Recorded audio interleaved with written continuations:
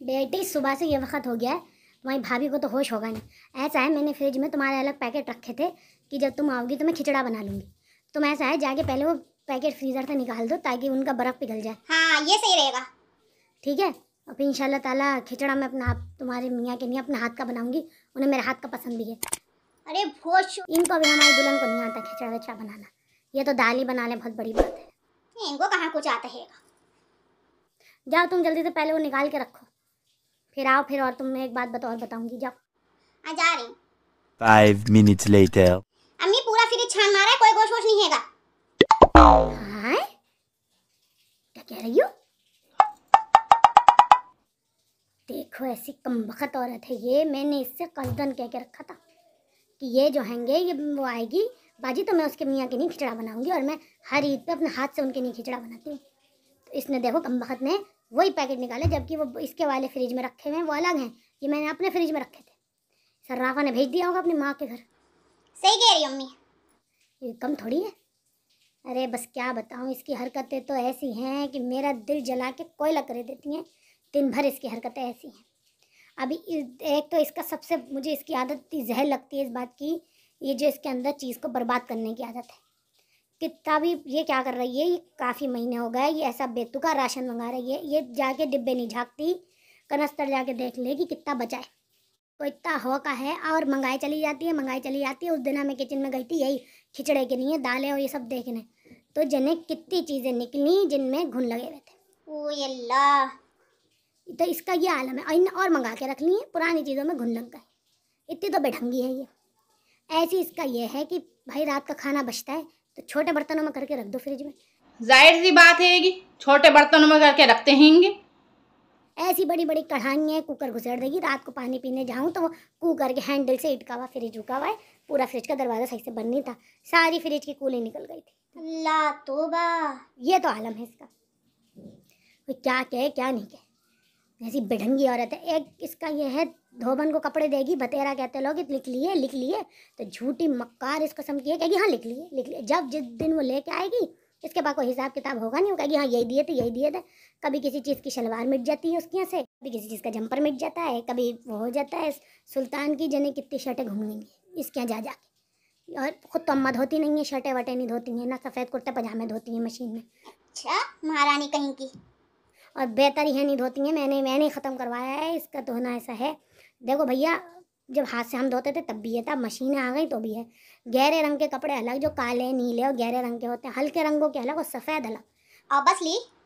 हम हमेशा कपड़ों को तीन हिस्सों में बांटते थे। उसके बाद धुलाई लगाते थे। सब कहीं ऐसा ही होता है ये तो इसका तो ये पूरा एक सा गट्ठल डाला मशीन में और इतना धड़ियों सर्फ निकाला और वो बात हम तो सर्फ में पहले सफ़ेद कपड़े धो लिए फिर वो निकाल लिए। उसके पानी में दोबारा रंगीन वो जो गहरे रंगों के हुए उनका पानी निकाल दिया। फिर अच्छा सरफ लिया। ऐसे हम तो इस्तेमाल करते थे चीज़ को कायदे करीने से। वो इनकी तरह है। लुट्टस मचाए हुए लुट्टस मचाए हुए और क्या कोई दर्द थोड़ी है किसी चीज़ का? Meanwhile. बताओ महारानी बनी कमरे में सजी बैठी एसी चलाए अब ये मेरी ज़िम्मेदारी है मैं जाके पूछूँ कि क्या बनेगा क्या खाया जाएगा। कैसी ये जिम्मेदार औरतें होंगी? कैसे अपने घर आज तक चलाए इन्होंने? यही तो होता है बहू बेचारी पिसती रहती है सबकी फिक्रों में। वैसे अम्मी कुछ भी किए हो तुम्हें पापा की बात मान लेनी चाहिए थी जिस टाइम वो फुप्पो की लोंडिया करने को कह रहे थे। और अब बेची ये है कि आदमी की मत मारी जाती है। जब आदमी का नसीब खराब होता है तो ऊँट पर बैठे आदमी को कुत्ता काट जाता है। उस वक्त तो मेरे दिमाग में ये था कि तुम्हारी फुप्पी और मेरे पर हावी हो जाएँगी। और कुछ कहने वाला थोड़ी है हमारी अकल तो घास चलने गई थी उस टाइम पे। उनकी लॉन्डी आ जाएगी तो और अब देखो वो अपनी सुरहान में कैसा अच्छा रह रही है। और क्या?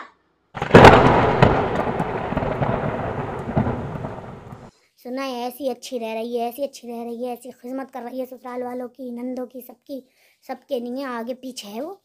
उस दिन तुमने देखा था ईद की दावत पे? उसने लौंडिया ने ना खाया, ना पिया, ना कुछ करा, अपने आज ससुराल वालों के आगे पीछे थी। जब वो लोग रुखसत हो गए, तब वो लौंडिया बेचारी बारह बजे बैठी। और इनके हम गए थे उस दिन दावत में देखा था? सुल्तान के साथ चढ़ के सबसे पहले ये बैठ गई थी, इनकी माँ बेचारी बूढ़ी औरत, वो खिला रही थी खाना, और इनके दोनों भैया। ये तो अम्मा आराम से बैठ गई थी। इस कस्म की तो ये औरत है। क्या क्या आदमी क्या नहीं ना ना पूरी बातें कर लो चुप क्यों होके बैठ गई।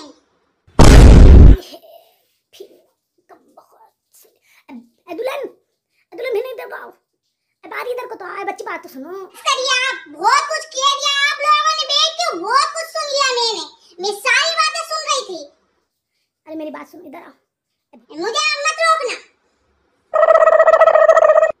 भिन्नो बच्ची तू जाके संभाल इसे निकल नहीं जाए कम बखत पूरे मोहल्ले में थू हो जाएगी। अरे ओ दुल्हन यहाँ मेरी बात सुनो।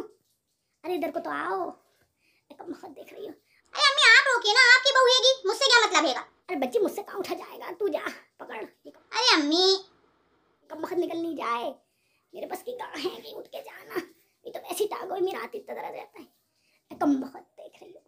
अरे दुल्हन बच्ची यहाँ भिन्न बात तो सुन लो पारी मैं तुम्हारे बारे में नहीं कह रही थी। ना ना, मुझे तो पागल कुत्ते ने काटा। है जो मैं किलकिला मचा रही होंगी। मैं पागल हूँ मुझे तो कोई बात बुरी लग नहीं सकती हैगी मैं आपकी बहू हूँ, फिर भी आप दूसरे की बेटी को कह रही हैं उसको अपनी बहू बनाती अरे सुनो तो हाँ इतने दिन हो गए मुझे यहाँ सबकी खिदमत करते हुए मैं यही सुनूं ए, कम बखत।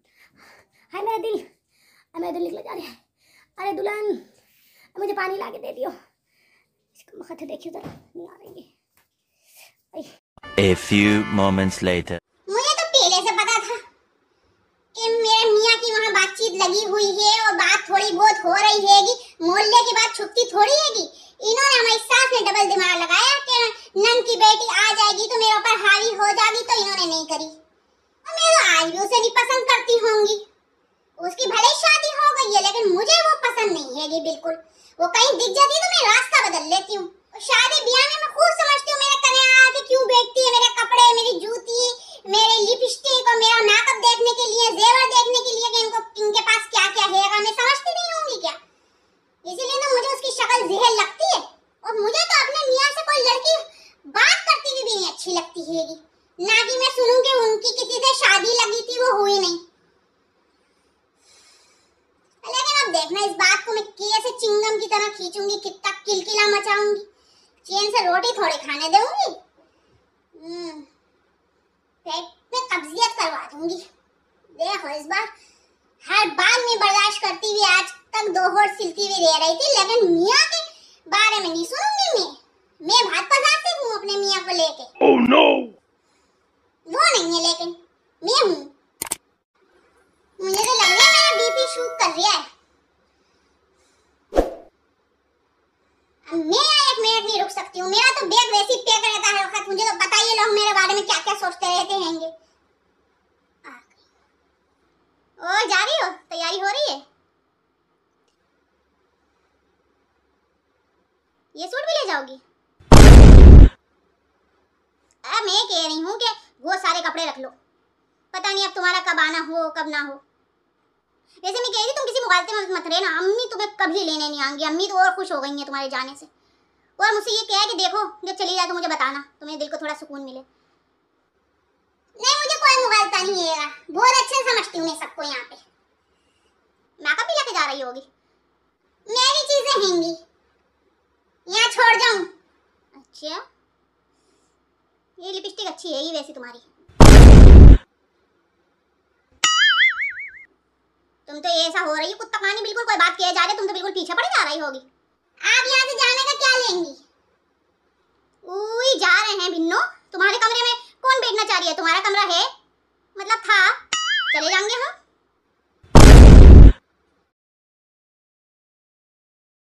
सारे अच्छे सूट लिए जा रही है। ये नहीं कि कुछ छोड़ जाए। आदमी ट्राई कर लेता इसके पीछे। ताला डाल के जाऊँगी अलमारी में। इनकी वजह से, खासकर अपनी नन की वजह से और अपने मियाँ की वजह से भी। जब एक एक चीज़ की परेशानी होगी, तब मेरी कदर आएगी। Meanwhile. क्या हुआ?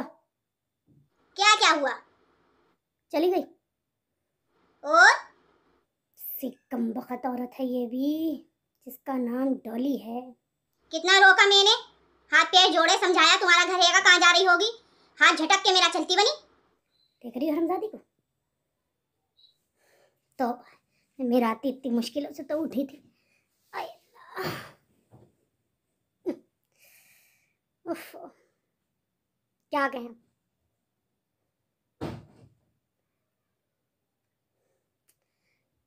अब ऐसा है, बच्ची, तुम इसकी माँ को फ़ोन मिलाओ ज़रा। मुझे फ़ोन मिला के ना मैं इसकी माँ से बात करूँ। डोली की अम्मी को फ़ोन मिलाऊं? अभी मिलाती हूँ। मतलब ऐसा है भैया, शाम को तुम चलो, इसको मेरे साथ लेके आओ मनवा के, और फिर भैया तुम अपने घर को जाओ। अपने घर क्यों जाओ? मतलब? वैसे भैया तुम्हारे चक्कर में बच्ची अब अपनी बहू से थोड़ी बिगाड़ लेंगे। सब सही कहते हैं माँ बाप सब बदल जाते हैं शादी के बाद। उनको सिर्फ़ अपनी बहू अच्छी लगती है और बहू के लिए मुरवत भी बहुत करते हैं सबसे। बेटी को भी पराया समझते हैं मैं तो तुम्हारे भले के लिए बोलती हूँ जो बोलती हूँ अपने आप को बुरा बनाती हूँ। रेन दो, अम्मी। चली जाऊँगी मैं।